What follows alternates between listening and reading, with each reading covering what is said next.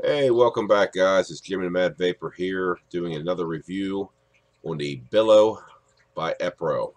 Been liking these Epros lately. I have a lot of Epro products. Uh, this one made real good quality as you'll see in the breakdown and all. 22 millimeter tank holds about 5 mil of, mil of E-juice but the good thing about this has dual coils on it. So we're going to go ahead and break this down, take a look at her not going to do a build on it. I think we all know by now how to do a dual coil build and put it in a dripper. If you can put a dual coil in a dripper, you can put a dual coil in this. It's just the wicking gets a little tricky, and I will be wicking it. Okay, well here's the billow broken down. I'm not going to do a build on it, but as you can see, I've got two, I believe they're 8 wrap 28 gauge coils on there big features on this one is as you see right here the air channel is raised up off the build deck. Meaning your juice unlike the orchid is not going to just drip down and go down hole it does have a lip there. I must say that's probably at least two millimeter lip maybe a little bit less. It's got the square design center post so you get a hole for everything no forcing two in there at the same time. Four massive juice channels. And I see if we can get a nice close up there. You can see that lip. You can see the juice channels. Four post design. The machining is very nice on this. Very nice. Alright, let's go ahead and put some wick in it. That's the main part here. You need to wick it right for it to perform. Get a piece out.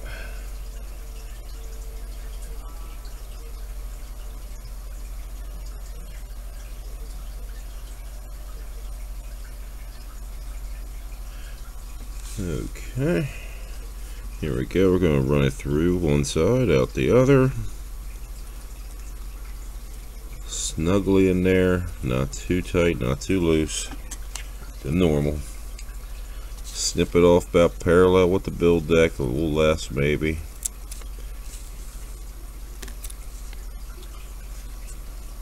Like that. Repeat on the other side. Now I'm just using 28 gauge in mine. You can you could definitely put 26 24. I don't know about 22. I've never had much success with doing 22 in a tank. Just dries up that cotton too quick. Snip this off. Okay, now the important part. Let's get some juice.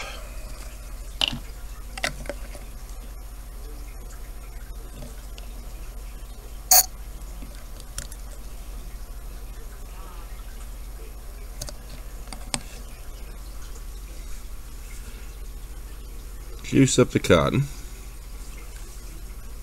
So you got something to work with. And it shrinks down that cotton easier to work with there. Okay. Now see behind the coil behind the air channel there there's a nice little gap there. What I want to do is just curl it back there and stuff it in. You don't want to be over top the air channel just stuffed them back in that groove. You'll you'll know it when you're doing it. You'll feel it. It'll just go right back there, just like that. And what I like to do is right against the negative post. I like to push a needle or something up against that. I like to keep a little area there open. Lets the juice get up in there, and it keeps it from going across the build deck into the air channels. Once you get in those air holes, it'll start leaking even worse. There's one side. Same thing, stuff it towards the back.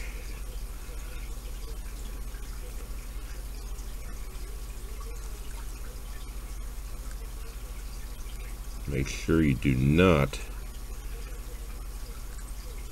get it in those juice channels because it'll clog it up and you won't get your juice. Make sure your air there is clear, no cotton hanging over it. If it is, just push it back. It's expand when it dries out, but you do not want over top those air ports. Okay, let's do the same on this one. Juice on the cotton. Get so it's flat.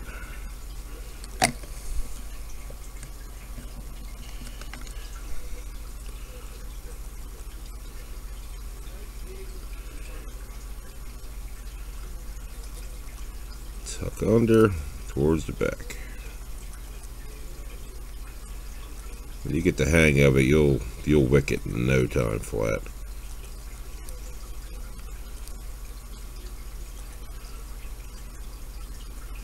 Got a little too much juice in there, just push it a little bit. Drain juice off there. It's easier to get your top chimney on.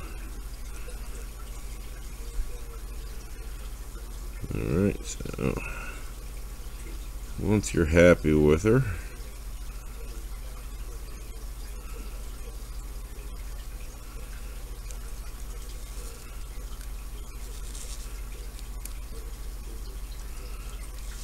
Once you're happy with the build that's about what you want to look like. Get your chimney. And you want to slowly screw it on top of the cotton. Just get your threads nice and wet as you put it down Keeps it from bunching your cotton, messing up your coils or anything like that. And slowly work it on.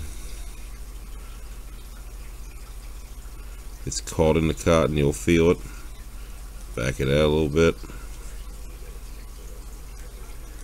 And show this, there it goes. Slowly down. Don't just crank it down real fast, it'll move your cotton around. It's nice and gentle. There, it's down. Torque her down a little bit. Good to go. Alright, so we got our coil in there. We got our cotton. Our tank on. Down the gasket. Now normally I would fill it from the bottom, but since it's apart, I'm just going to go ahead and throw some juice in from the top.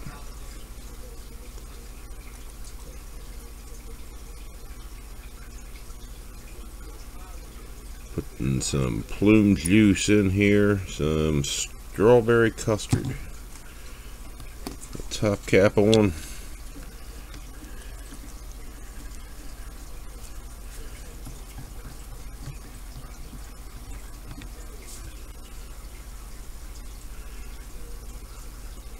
This is the messiest part. It's going to leak when you first build it. Nothing you can do about that.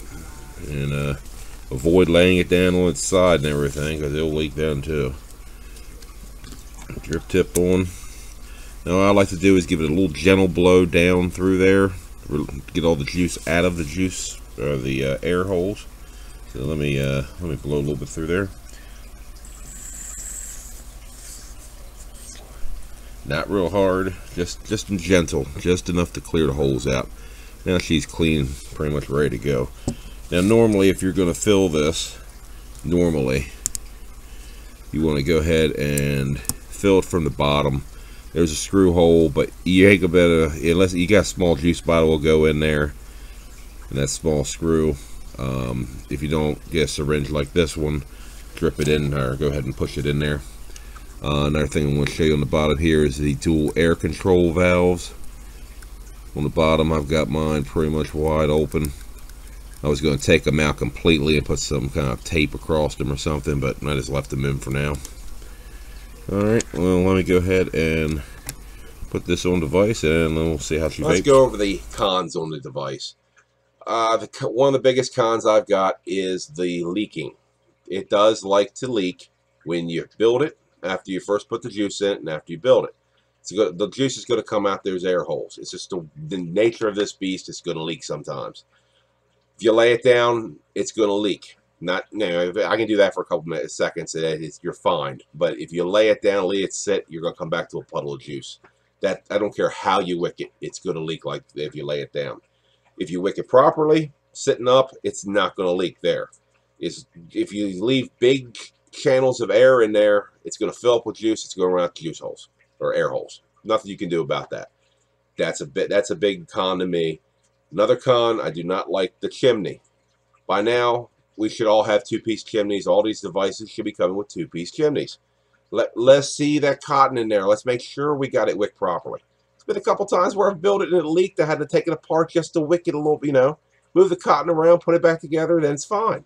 But if you had a two-piece chimney, I wouldn't have to do that. I would know it was good to go with. So that's another con to it. Another con, I don't know if it's really a con, but it goes through some juice. I mean, you see how much vapor you're producing. When you're producing that much vapor, you're going to go through some juice. So this tank will last you about, depending on how much you vape, an hour to two hours. You'll go through five mils of juice. She is a just a juice hog. She will suck through that juice. Not saying that is a con. To me, you know, I got my limo. I use on my normal day basis because that conserves my juice. But if I'm just sitting down throwing some clouds out, you know, I've got an inexpensive juice like plume juice. Get a lot for a good price. You know, I don't mind blowing those big clouds constantly and filling sucking this hard, thing dry. little screw at the bottom, but you're not. You're going to need a little syringe to get in that little hole, and even a syringe doesn't like to go around the uh, the chimney, so it tends to leak when you do that. In my opinion, tank is great, just like it is. Yes, it does leak some, but it throws out some huge clouds and it gives you a great flavor. Uh, I would would recommend this tank to anybody that uh, doesn't mind the leaking issues. If you if you like if you have an orchid like the orchid or the orchid 2.0 or whatever with the raised piece, if you like an orchid, you're gonna love this tank.